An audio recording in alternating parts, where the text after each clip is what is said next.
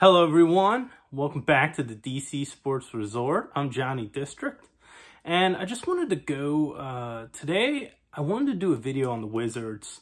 Uh, I'll be honest, I'm not really that big of a fan of the NBA.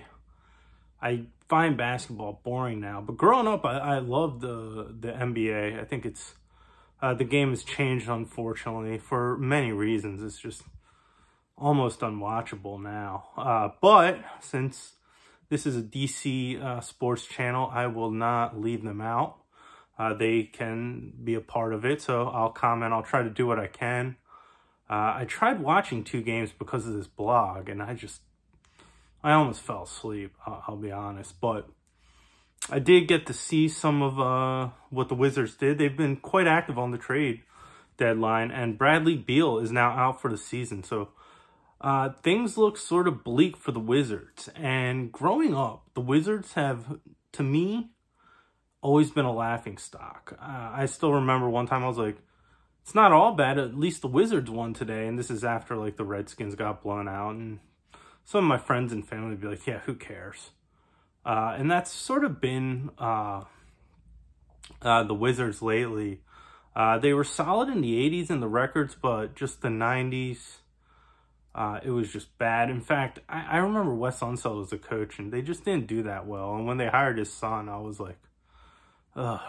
But, you know, hopefully his son does well.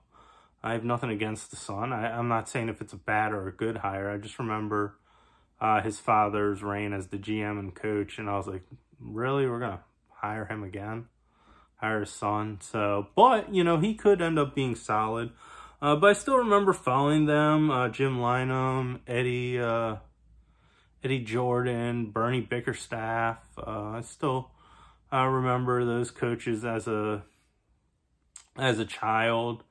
Uh, and it looked like they were almost going to get respectability, but then Gilbert Arenas, uh, that faltered. The Antawn Jamison, Caron Butler, a lot of that. Uh, John Wall looked like, and then he got hurt. Uh, so sometimes I feel like the, the Wizards are just cursed. Uh, but I'll comment what's on the news. Um, speaking of curse, Bradley Beal is now out for the season. And it's sort of unfortunate because in the NBA, I think they're ninth or 10th. So they're still in playoff contention. And I think that's what the Wizards internally, at least if I was in the front office, I would be like, we have to start building a team that gets to the playoffs every year, year in and year out. Uh, we shouldn't be, you know, trying to build a contender overnight. But right now, they're sort of uh, bottom of the barrel. Not everyone gets a LeBron James and what, what he did with Cleveland. And that's what I think their goal should be, is just trying to get a team that's good enough to go to the playoffs uh, every year.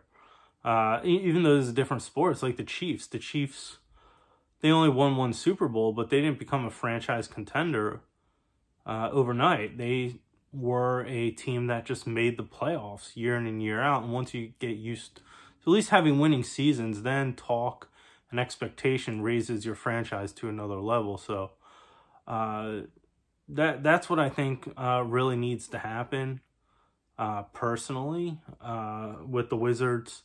Uh, something like those different uh, things. So the first one was, uh, sorry, I'm looking at notes, Kristaps. Uh, he's seven foot three and he's from Dallas. He averages uh, almost 20 points a game. I think it's 19 point something.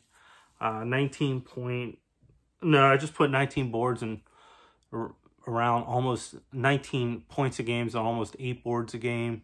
Uh, he's supposed to be very skilled. Uh, they said the only third is he gets injury prone.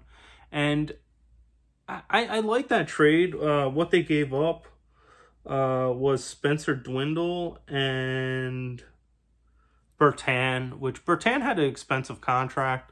So I'm glad they got that off the books because if Beal leaves, they're going to have to start rebuilding. Uh, and Spencer Dinwiddie, solid player, but if you can get a guy seven foot three and can get almost 20 points a game with eight boards and uh, he's a shot blocking presence, uh, I think that's a the good trade. And when, coming over to Wizards with Beal out, uh, he has a chance to really develop and hone himself and be the number one uh, person. He used to not get along with Luka Doncic. Uh, over in Dallas. So I, I think this would be a good one to really, he can really step up his game and find out uh, how, you know, is he a number one? Uh, was Luka holding back? Was he not? Uh, with Beal. So I, think that's a solid trade, and I think we'll find out a lot about him. Uh, if he doesn't work out and Beal leaves, then he can, uh, who knows, maybe the Wizards will trade him somewhere else. Uh, who knows uh, what's that? And they also traded, uh, I forget the guy's, uh, the other guy's name, Montrezl, uh, but they traded him to Charlotte.